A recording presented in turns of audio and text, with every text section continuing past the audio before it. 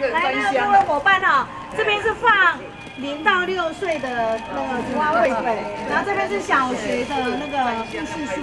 哦，然后他们的阅读本，然后这边都是一般的社会的小品、小品的文章，那个故事书都放在这边。古人说开卷有益，直截了当说明了阅读的好处。为了让育幼院的孩子能够有更多好书可以阅读，启发他们的语言能力和智力发展，救国团土城和新庄团委会发起捐书活动，号召有心人来捐赠书籍，让弱势的孩童能够有机会读到更多好书。都是零到六岁的我是救国团新北市土城区团委会会长王凤珠。我们今天呢所办理的是募书活动，捐书，我们要。最主要，我们是要把我们今日所所得的书本赠送给予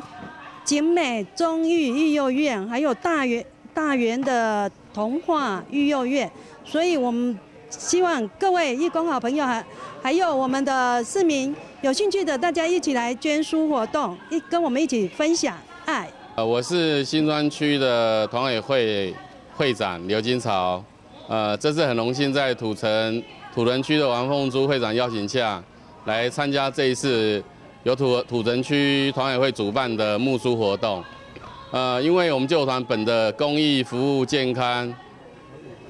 教育四大核心目标，所以我们希望把书捐给有需要的人，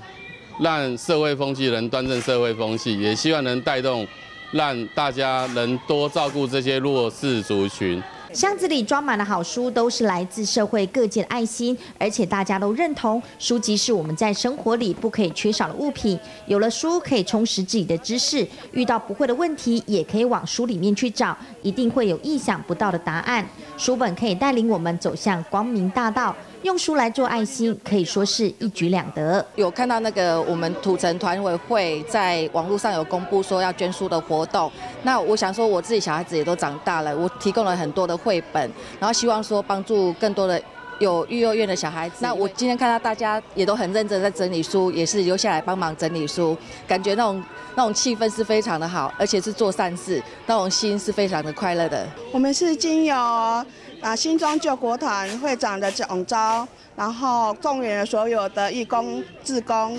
跟干部群来募集一些绘本，然后我们有募集了两百多本的全新的绘本。来捐赠给这些需要这些全新故事书的小朋友们。除了自赠书籍之外，救国团新北市板桥、泸州、土城终身学习中心都设有青年书柜，期望让社会大众养成阅读的习惯，有好书可以看，引领台湾成为书香社会。中嘉新闻林立范刚仪土城报道。